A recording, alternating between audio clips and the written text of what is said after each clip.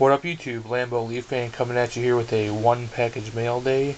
Uh, got my ESPN magazine in here, Eli Manning on the cover.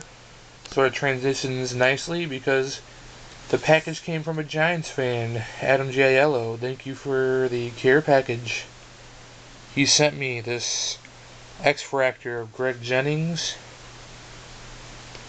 Throwback uh, rookie of Aaron Rodgers orange rookie of Michael Floyd,